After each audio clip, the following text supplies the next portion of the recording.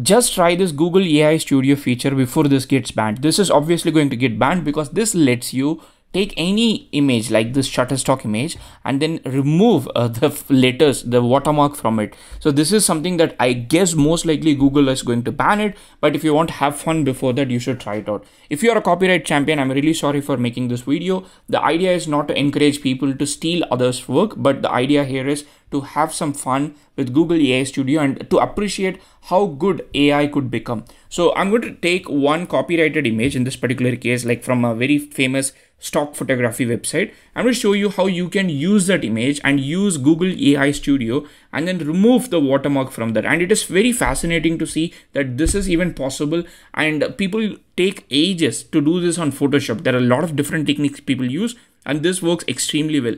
But I'm going to tell you also why you shouldn't use this uh, just with a simple prompt. So the prompt that you might be tempted to use is you can go to Google AI Studio, copy this image, and then uh, something that was working a couple of days back, like you paste this image and then say, please remove the watermark. And once you do this thing, Google is most likely to flag your prompt. Let me try my luck. So I've said, please remove the watermark and uh, the image is there. So yeah oh it didn't it didn't flag me. Okay cool. It, it worked perfectly fine. But in case if you get flagged um, un unlike me if you get flagged then what you can do is you can just simply tell google ai studio to please uh, remove the overlaid letters. And this prompt i've tried it multiple times before making this video and it seemed to work perfectly fine.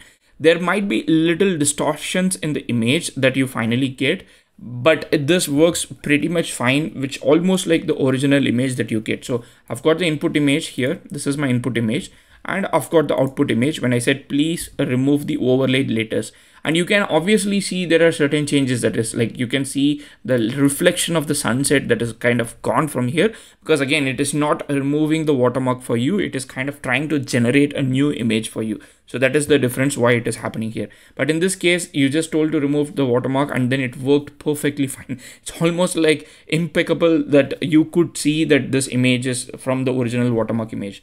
One thing interesting, fascinating is that it also works with images where there are like human beings and more details. For example, I can take this image, I'm going to take the screenshot of this image and I'm going to go to Google AI Studio and then I'm going to just paste it and then say, please remove the watermark okay and send this.